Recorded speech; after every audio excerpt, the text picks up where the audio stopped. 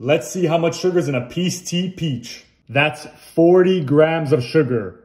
Let's measure that.